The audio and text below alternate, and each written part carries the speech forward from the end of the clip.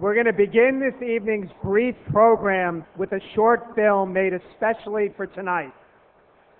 To introduce an alum's guide to Regis, I'd like to welcome to the stage Craig DeFalco, class of 1995, an accomplished writer and director, and Michael Izquierdo, class of 1996, actor, producer, and founder of Sunnyside Films.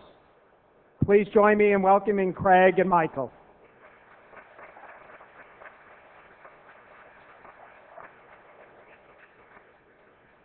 Good evening. The first project I ever directed was when I was 16 under a budding theatrical producer named Father Phil Judge and starring a young actor, Michael Izquierdo.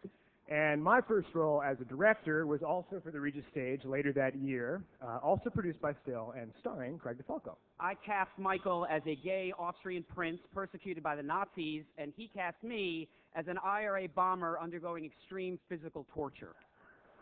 Clearly, we were just some fun-loving kids just in it for a good time. 20 years later, so we've kept working together, and when we screened our first feature film at Regis, it truly felt like coming home.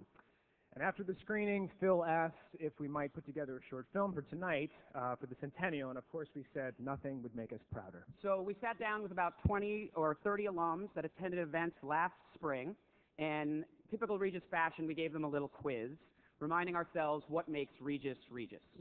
So here is a 10-minute excerpt of the interviews for tonight's celebration, so please join us on a quick trip down memory lane.